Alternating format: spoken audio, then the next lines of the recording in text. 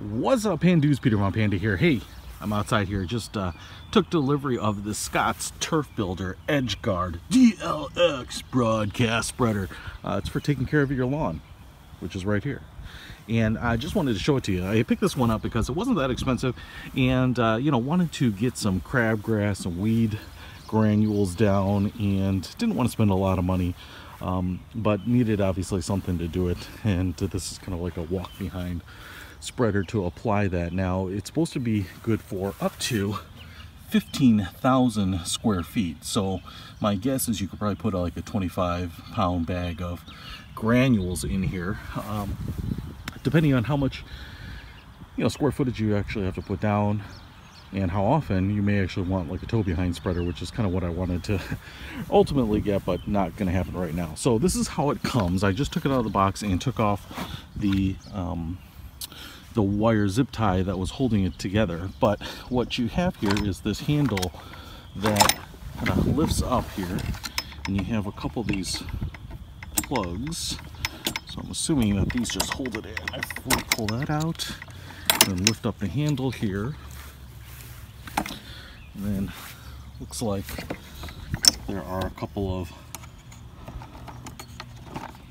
knobs that tighten it down in place, kind of just like a push behind lawnmower. Fuss with that. Now, there are some controls on it, obviously up here. Looks like a pull bar here to open up the chute. You can see it pulls that and then opens up the chute right there.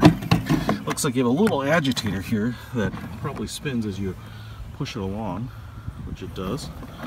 It kind of gets it into that gets it in the hole. You also have a spreader setting right here, a dial that goes all the way down to single digits up to double digits.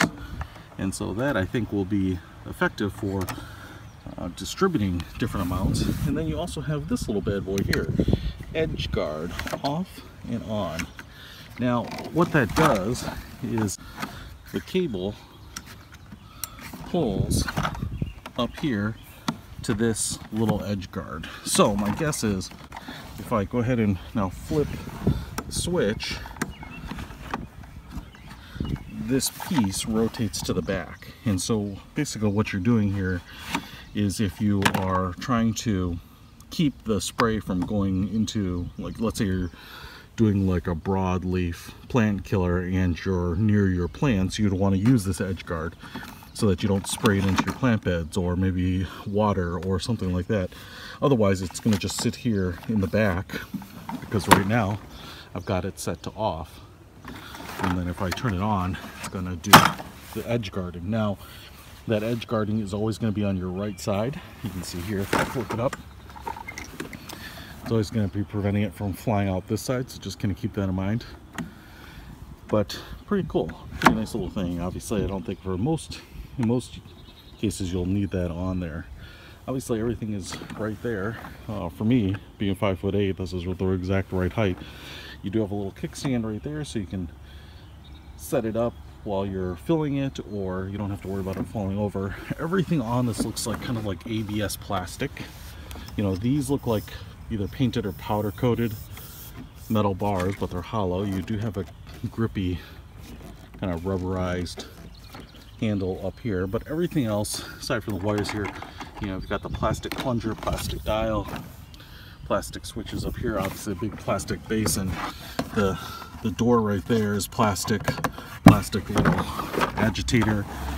Um, if we look down here on the bottom the uh, kickstand right there is metal but even the wheels as you can see here are all plastic and that's obviously you've got kind of this gear here that spins the spinner, but this little spinner is plastic, plastic, plastic.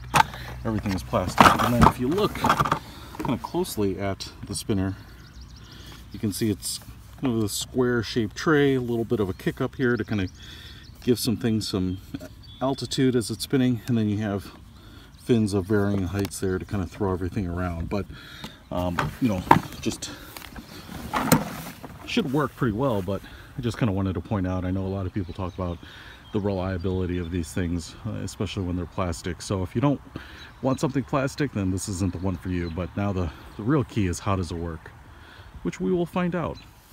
So the thing does work. I actually put 30 pound of Scotts Halts into the spreader here and was spreading it around. It actually kind of spreads probably about a foot and a half to two feet uh, on either side. So you get a pretty big broadcast pattern.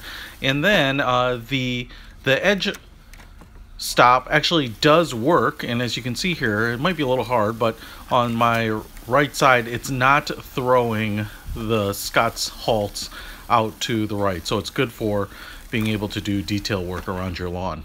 From the Scotts Turf Builder Edgeguard DLX. Peter Von Panda out.